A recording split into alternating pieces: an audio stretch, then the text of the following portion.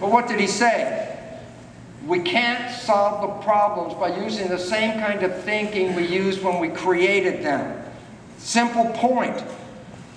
The institutions that we live by, government, politics, education, healthcare, religion, are the cause of today's problems. That we cannot use their thinking to get us out of the problem because their thinking is causing the problem. So what does that leave you with? Evolution is based on these things falling down. That if they don't crash, we won't survive. So the fact is, yeah, look at what's going on. It's falling down, and most people are scared to death. It's like, oh my God, it's ending. And I'm thinking, oh man, you got the picture wrong. It's beginning. It's the beginning of a new civilization. What have we learned that we can carry forwards? And what new things can we introduce at this time to change the world and make it more sustainable for us? And the relevance is that process entails that we absolutely give up on the existing situation because it's been the cause of the problem. To make the story very you know, sweet and picture, let me give it to you this way, because the images are the same. Cells are miniature people, whether they're in a human or they're in a caterpillar. And I say, go inside a caterpillar. You've got 7 billion cells in that caterpillar. And all the cells have jobs. They're all working. Digestive system is handling all that food that's coming in. The muscles are moving the community around. All the, all the jobs are working and it's a sustainable place. The environment is going crazy. The economy is going great guns. Everybody's excited, building a system. And then one day it starts to slow down. Doesn't eat as much. Doesn't move as much. Yeah, but what about all the cells that were in there on that digestive system? Well, they're looking around going, hey, I got no work, man. There's no work. We're out of work. Holy Jesus, we're out of work. And these people are out of work and these. And all of a sudden you see what's going on in that caterpillar. That six or seven billion cells are now in chaos because it's like the whole damn thing's falling apart. Many cells actually commit biological suicide, which is called apoptosis. And in this process of all this undoing and this upheaval, there are individual cells that are genetically identical to all the other cells. They're called imaginal cells. And what do they do? They organize the community of cells around them with their new vision. And the imaginal cells create a vision of something much more sustainable than that caterpillar was. They create the butterfly. And the issue is right now, Earth is in terminal caterpillar.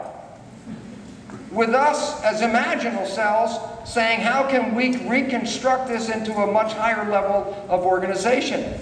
It's not the first time this has happened. Civilizations have come and gone. There was first animism, like the Native Americans, the Druids, uh, Aboriginal people.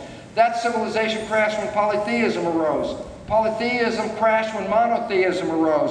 Monotheism crashed when the current version called scientific materialism arose. And this one is crashing and the new one is on the process of beginning. It's happened over and over again. You say, well, what is the responsible agent? How is it caused? Personal beliefs affect your personal life mass beliefs affect the entire world. And so where did the beliefs come from?